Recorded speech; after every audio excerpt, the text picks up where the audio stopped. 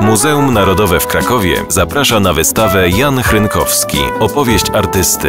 Niezwykle różnorodna twórczość malarza, grafika, scenografa i jego wielkie inspiracje Pankiewicz, Gauguin, Munch, Leger. Gmach główny Muzeum Narodowego w Krakowie. Do 8 marca. Poleca TVP3 Kraków.